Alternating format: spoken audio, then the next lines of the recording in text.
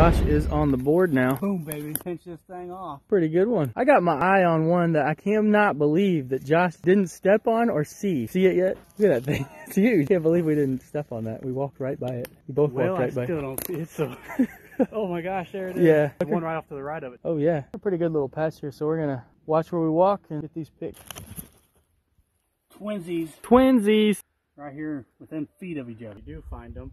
Put them in a bag with holes, old potato bags. That way when you're walking around, you can kind of shake the bag a little bit and all the spores fall out on the ground. Look at this guy. He's all bent over, trying to pop up. The Size to him. Pretty good size dude there. You got three up there. I see, I, do you see those two in front? And there's another one right here just over the hill, so don't step on it when you come down. I got one. I already picked two from this area, but there's another one there. Two pretty good size ones up above there. We got a pretty nice patch here. So far, I think I've got, I've spotted about a dozen.